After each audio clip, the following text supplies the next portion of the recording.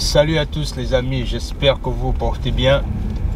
Euh, c'est Warren et Asiana. Si tu es nouveau sur la chaîne, abonne-toi à la chaîne et active les notifications et suis-nous notamment dans nos différentes pages Facebook et Instagram. Alors aujourd'hui, on va parler d'une thématique qui me tient vraiment à cœur, c'est que c'est la thématique en fait des, euh, des 5 heures. C'est-à-dire c'est une méthode que les riches utilisent pour avoir plusieurs succès dans leurs entreprises. Et comme ici on parle d'entrepreneuriat, de richesse, de développement et de vie à l'étranger, c'est la raison pour laquelle notamment c'est la raison pour laquelle aujourd'hui j'ai décidé de partager ce secret avec toi parce que sois-en sûr, c'est que si tu veux avoir certains résultats, apprends à faire ce que tout le monde ne fait pas. Et la première façon de faire ce que tout le monde ne fait pas, c'est de t'informer comme tout le monde ne s'informe pas. C'est la raison pour laquelle aujourd'hui je vais te parler de la règle des 5 heures. Alors, c'est quoi la règle des 5 heures? Cette règle-là qui est appliquée par les personnes célébrissimes comme Aliko Dangote, comme euh, Warren Buffett, comme euh, Elon Musk, Jeff Bezos. Pourquoi est-ce que ces, ces richissimes personnes en fait ont compris la loi appliquent notamment la, règle de 5 heures? Simplement parce qu'ils ont compris certaines choses que les pauvres n'ont pas encore compris, que je vais t'enseigner aujourd'hui. Sur ce, on est parti. Alors, il y a une chose que tu dois comprendre, c'est que normalement dans une semaine, il y a cinq jours. Et dans les cinq jours de la semaine, tu dois trouver un temps pour ta croissance personnelle. Notamment, tu dois pratiquer ce qu'on appelle l'auto-éducation. Et dans cette auto-éducation-là, tu dois prendre une heure parmi ces cinq jours-là pour te documenter. Oui, tu l'as bien compris. Il faut que tu te documentes. Il faut que tu cherches la connaissance. Le problème dans notre communauté noire notamment, c'est que on prend plus de temps dans le divertissement, dans l'alcool, dans la boisson, dans les grooves, dans les ambiances, alors qu'on aurait pu passer plus ce temps-là à développer notre croissance personnelle et avoir plusieurs résultats. Et ce qui est intéressant avec la règle des 5 heures, c'est que l'apprentissage ne devient plus quelque chose qui devient, euh, on va dire ça comment, l'apprentissage n'est plus quelque chose qui, qui devient une corvée en fait. Mais clairement, l'apprentissage devient une façon pour toi d'apprendre de nouvelles choses, mais tout en devenant de plus en plus performant. Je m'explique. C'est-à-dire, si par exemple, il arrive que tu passes une heure de ton temps par semaine, en commençant, pourquoi pas, à lire un livre qui t'intéresse, notamment sur un sujet qui te passionne. Par exemple, tu es intéressé par, euh, on va dire, l'entrepreneuriat et que tu as un problème de lecture. Ce que tu peux faire à travers la, avec la règle des 5 heures, c'est que tu vas prendre une heure de ton temps par semaine en commençant à développer l'habitude de la lecture.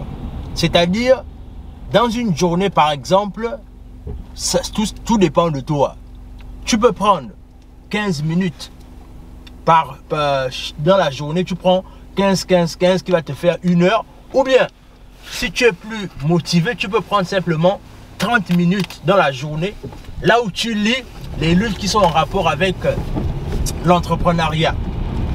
Et ce qui va arriver, c'est que si tu te comportes comme ça du lundi au vendredi, tu vas, tu vas appliquer ce qu'on appelle la règle des 5 heures. Ça veut dire que chaque jour, tu as pris une heure pour t'informer sur ce qui te passionne le plus.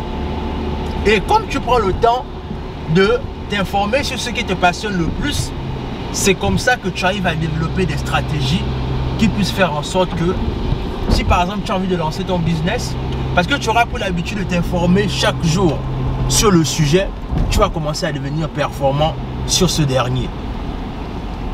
Et je vais prendre simplement l'exemple avec Barack Obama. Une étude a montré que pendant que les gens passent du temps, quand du moins quand ils sont libres, par exemple s'ils ont une petite heure creuse ou une journée libre dans la semaine, ce que les gens font, c'est qu'eux, ils recherchent la relaxation et le divertissement. Mais ce que Barack Obama, lui, ce qu'il fait, c'est qu'il fait deux choses. Il, il, regarde l'actualité et, et il lit des livres qui sont en rapport avec sa passion. C'est-à-dire, même quand il a le temps de se divertir, il trouve le moyen de se divertir dans des sujets qui le passionnent en fait. Et c'est ce qui fait toute la différence justement. C'est que pendant que toi tu cherches le divertissement inutile, les riches, eux, ce qu'ils font, c'est que ils cherchent le divertissement utile. Et c'est là où réside toute la différence. C'est que nous, on nous a habitués à ce que on se divertit dans des choses qui nous perdent du temps en fait, ou encore qui nous perdent de l'argent. Je te prends un exemple simple. Quand on a grandi, on nous a par exemple dit que mais oui, la meilleure façon de se divertir, c'est d'aller boire un pot avec les amis. Et parfois, le pot que tu vas boire avec tes amis, c'est à tes frères en fait. Du moins, si tes amis savent que tu vis dans la, dans la diaspora, quand tu rentres au pays, toutes les, toutes les sorties que vous allez faire, les amis attendent forcément que c'est toi qui payes toujours. Et ce qui fait que toi, qui vis dans la diaspora, tu sais combien de fois c'est dur de gagner de l'argent dans la diaspora. Mais quand tu rentres au pays, ce qui se passe, c'est que tu claques tout ça dans les bars et dans les boîtes de nuit. Et c'est clairement quelque chose qu'il faut que tu changes. Maintenant, dans la règle des 5 heures, il y a trois aspects que j'ai envie de développer avec toi pour que tu puisses mettre en pratique la règle des 5 heures. Comment est-ce que tu peux arriver à commencer à mettre en pratique les règles, la règle des 5 heures dès maintenant? C'est que tu dois faire trois, trois choses essentielles. La première, c'est que tu dois développer ton amour pour la lecture. Oui, tu l'as bien compris. Et comme je disais la dernière fois, en fait, cette vidéo est la deuxième d'une série de vidéos que je suis en train de parler de la croissance personnelle. Si tu n'as pas regardé la première vidéo, après cette vidéo, je t'en prendrai d'aller voir la première vidéo. Alors, comme je disais, je te parle de la... La première chose que tu dois faire, c'est développer l'amour de la lecture. Oui, parce que tu dois comprendre une chose, c'est que plus tu lis, plus tu développes ton intellect. Et il faut bien comprendre une chose, c'est que la lecture ici est aussi... En fait, la lecture est pour le cerveau ce que le sport est pour le corps. Ça veut dire que si tu négliges la lecture, en fait, tu as déjà creusé ta propre tombe ou encore tu as déjà creusé toi-même ta raison vers l'échec en fait. La première chose c'est que tu dois développer ton amour de la lecture. Et si tu as du mal à développer l'amour pour la lecture, tu peux simplement nous contacter en barre de description. Il y a nos informations. On peut te donner un accompagnement là-dessus et on peut te suggérer les livres que tu peux commencer à lire. À lire autant pour moi pour développer ton amour pour la lecture. Donc, l'ami, comprends combien, combien de fois il est urgent pour toi de te documenter. il faut que tu te documentes.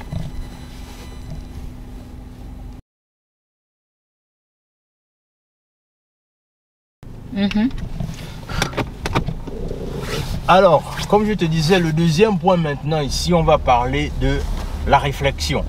C'est-à-dire, pourquoi je te veux te parler de la réflexion? Parce que le but ici, c'est que quand je te demande de te lancer dans la lecture, ne te lance pas dans la lecture juste pour regarder, lire les bouquins qui te, qui te font te sentir bien. C'est-à-dire les bouquins comme les, les arlequins, les histoires d'amour là. Non, non, non, non, non.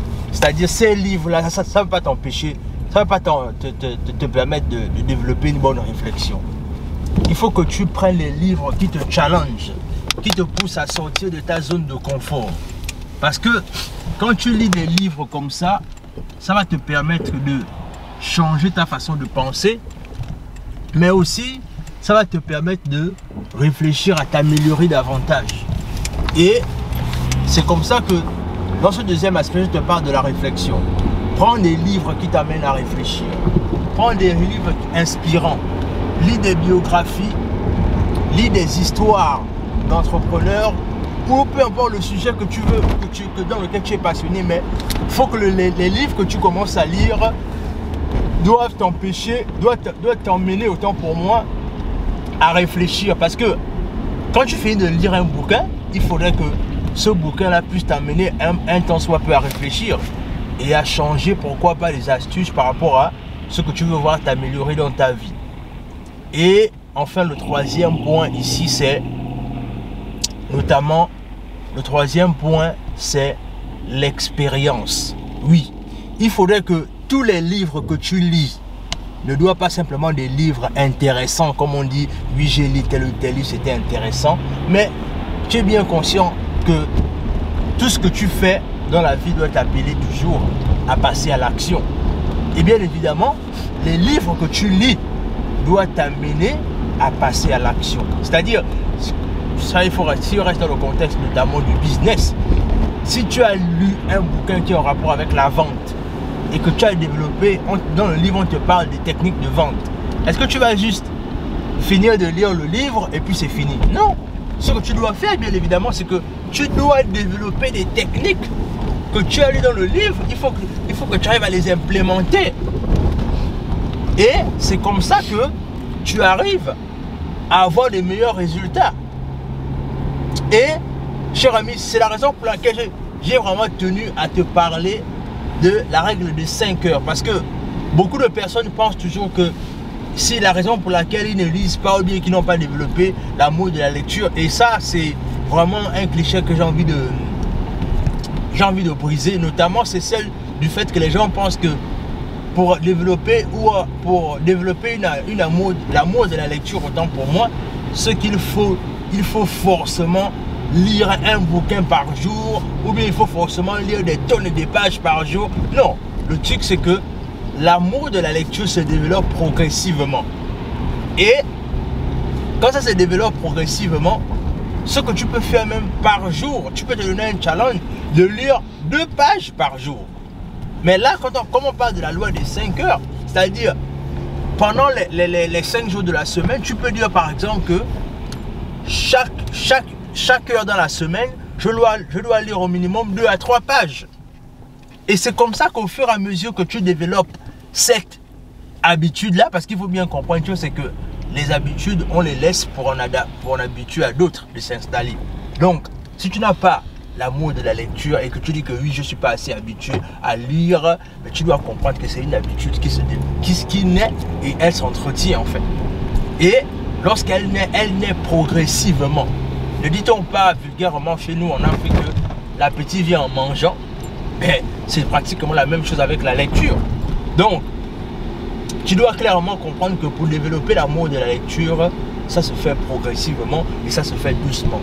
Une page, une page, une page, une page, ça va te permettre de développer ton amour de la lecture. Ne sois pas quelqu'un qui rate les informations capitales parce que la personne va simplement dire que oui, mais je n'ai pas l'amour de la lecture. Non. C'est-à-dire, il faut bien comprendre une chose, c'est que notre génération actuellement a tout pour s'en sortir. Notamment quand on fait la comparaison avec celle de nos parents. Nos parents avaient tellement d'obstacles pour ne pas forcément atteindre les résultats que certains d'entre eux voulaient atteindre. Mais aujourd'hui, si la pauvreté est ton partage, tu n'auras que tes yeux pour pleurer en fait. Et comme je ne veux pas que tu finisses pauvre, c'est la raison pour laquelle cette chaîne Warren Asiana existe. Cette chaîne guerrier mental existe parce que on veut faire sortir le guerrier mental qui sommeille au plus profond de toi. Oui, parce qu'on reste convaincu que chaque, être humain a un guerrier mental qui sommeille au plus profond de lui. Mais la différence réside entre le fait que jusqu'où es-tu prêt à partir pour faire sortir ce guerrier? Jusqu'où es-tu prêt à aller pour que ce guerrier enfin se réveille? C'est à toi de décider. Alors, Si tu penses que tu es un guerrier mental, dis-moi en commentaire ce que tu penses de cette vidéo. Est-ce que tu penses qu'après avoir regardé cette vidéo ou avoir écouté ce contenu, tu pourras développer ton amour de la lecture et que tu pourras briser ce joug-là qui dit que si on veut cacher quelque chose à un noir, il faut qu'on le cache dans un livre? Parce que non, je reste, je reste convaincu que les noirs ne sont pas bêtes. Les noirs ne sont pas paresseux. Les noirs ne sont pas des personnes qui sont condamnées à l'échec. C'est juste la programmation qu'on a reçue qui veut nous faire croire cela. Mais il n'en est rien. Alors, battons-nous pour faire en sorte que ce mensonge-là demeure un mensonge et démontrons que on peut aller plus loin ensemble. Oui, parce que c'est de ça dont il est question, cher ami. Faire en sorte qu'on aille plus loin ensemble. On doit créer des entreprises. On doit créer de la richesse. On doit créer de l'emploi chez nous en Afrique. Parce que personne ne le fera à notre place. Ça va peut-être faire cliché que on te fait cette vidéo. Nous-mêmes, on est, dans la diaspora, on, est, sous la neige. Mais crois, je, sais que si tu n'es pas nouveau sur la chaîne, tu dois bien comprendre une chose, c'est que nous, tout ce qu'on fait dans cette chaîne-là, c'est qu'on parle de la nécessité de faire en sorte que même si tu vis dans la diaspora, tu dois prendre tes revenus que tu gagnes ici pour aller les investir en Afrique. Donc, ne pense pas que... Euh, parce que on peut déjà voir ici les petits malins qui vont peut-être venir en commentaire vont dire que mais oui, voilà des gens, ils nous parlent de l'Afrique alors qu'eux-mêmes ils sont sous la neige. Non, non, non, non, non. Nous-mêmes, on a commencé à avoir des entreprises en Afrique et on va commencer à y aller très très bientôt. Et ce qui est intéressant, c'est que c'est parce que même on a commencé cette chaîne, c'est que quand on va commencer à y aller et à investir clairement, de façon palpable et encore plus fort, vous serez les premiers à être au courant de ce qui se passe. Donc, abonne-toi pour ne rien manquer, pour ne rien manquer autant pour moi. Partage la vidéo autour de toi, mets-nous des likes et sur ce, on se dit à la prochaine.